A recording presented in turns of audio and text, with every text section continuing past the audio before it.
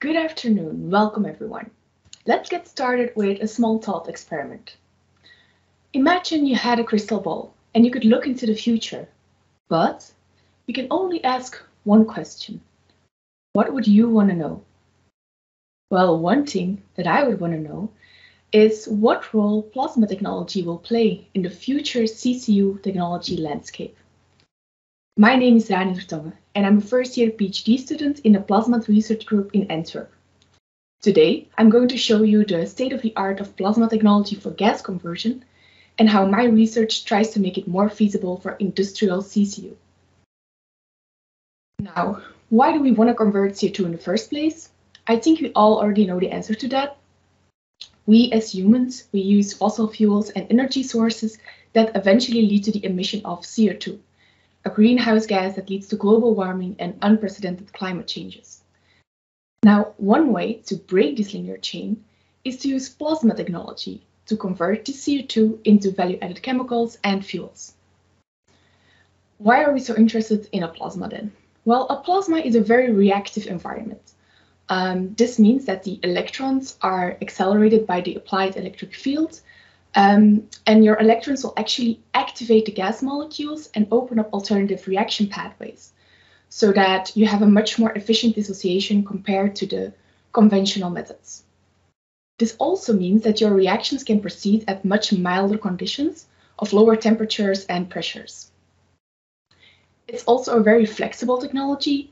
You can modify both your, uh, your input gases, so your feedstock, and your products depending on the needs of the process.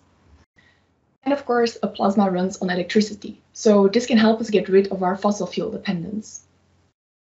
In addition to that, it's a very um, it's a technology that is easily switched on and off, uh, which makes it easier to compare with renewable electricity. For example, if it's a very sunny day, you can switch on your plasma reactors quite quickly uh, to convert excess electricity from the solar panels into a fuel like methanol.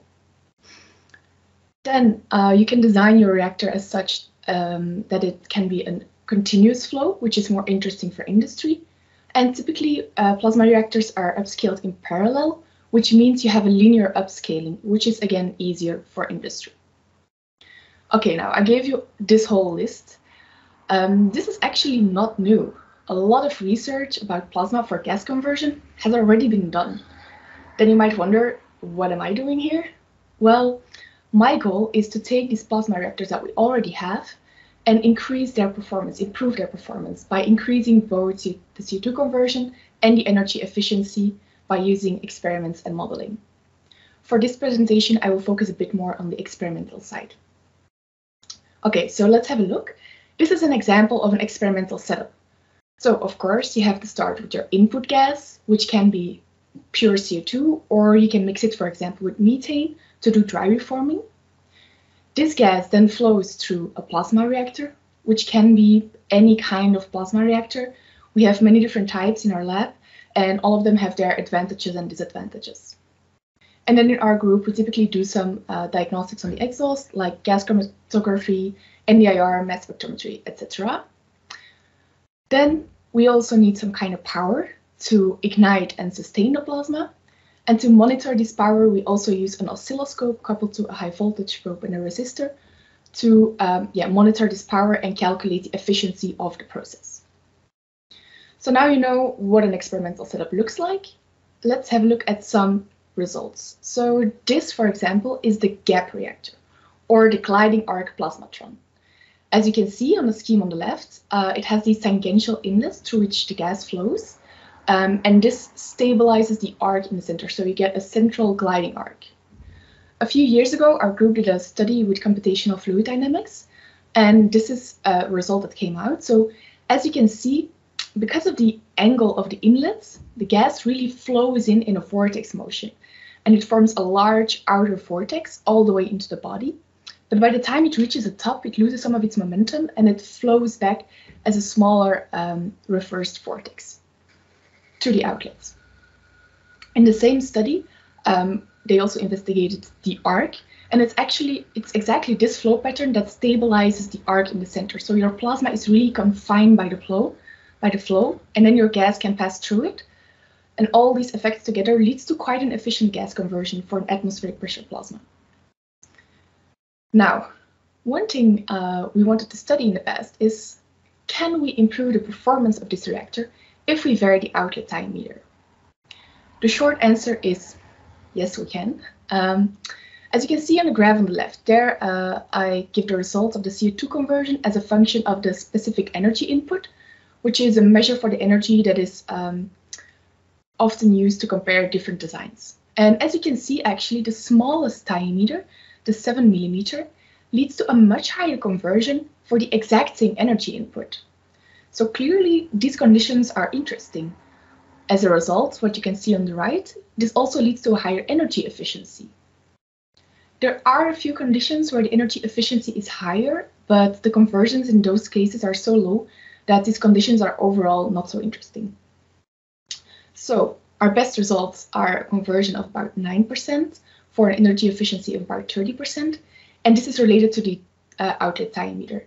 So these insights combined with the computational study that I showed you on the previous slides um, really demonstrated that um, the diameter is determining for the performance because actually the smaller the outlet diameter, well, the more your gas is forced in this vortex flow motion. It cannot just escape to the outlets. Bottom line, uh, the residence time of the gas in the plasma is much longer, which as a result leads to a higher conversion and a better efficiency. So this is all past work. That's when I came into the group. And I thought, let's mix it up and let's just try some more exotic uh, electrode designs. On the left, you can see the default electrode design, uh, which was used in the previous results. But I tried many different variations of that. I tried a cone-shaped cathode. I tried to decrease the anode diameter even more. I even increased the anode into the volume of the cathode. Um, so many different variations. And the first results actually show that this has a huge effect. Um, as you can see, the design really determines the range of specific energy input that you can reach uh, with a reactor. And um, there are huge differences between them. There also, most of them seem to be better than the defaults. Now, these keep in mind, these results are only relative compared to each other. Um, this is still work in progress.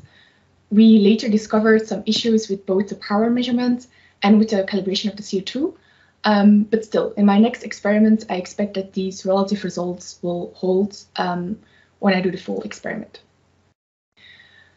Okay, what can we conclude? We see that actually the conversions uh, in atmospheric pressure reactors is all about maximum 15% for energy efficiencies of about 40% in the maximum. But I also saw that the design really has a large influence on both the power that can be achieved and on the residence time of the gas in the plasma. So clearly more improvements are still possible.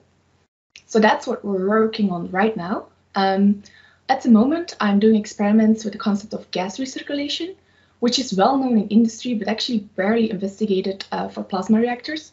So this already uh, gives some very promising results. This is still a work in progress. Um, we're also looking into product separation, for example, by means of putting a carbon bed behind the plasma. We're looking at preheating the gas before we send it to the reactor or quenching, so quickly cooling the gas after it comes out of the reactor all this uh, is worth, all this and more actually is what we're investigating at the moment. But we also believe that we can get even more out of these technologies if we can find some collaborations within the capture network, for example. Um, catal the catalyst design of the post-plasma region could be very interesting um, because then we could steer our products even more than we can right now. But on the and then the second point that I want to make is um, I've been talking about yeah bringing plasma technology to industry, but one way to actually investigate this would be to perform a techno-economical analysis. So if you have suggestions for calibrations or if you have questions later on, don't hesitate to contact me or Professor Bogaerts. The contact details are on the slide. Okay, I am very curious to see where all our projects, um, what the future brings for all these projects within the Capture network. network and I thank you very much for your attention.